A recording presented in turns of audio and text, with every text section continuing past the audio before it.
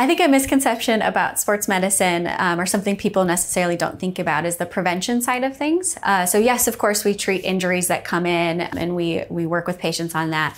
But learning more about that, about um, the nutrition side of things, preventing fractures, preventing injuries, concussions, things like that, are something um, that maybe isn't as known about the field of sports medicine.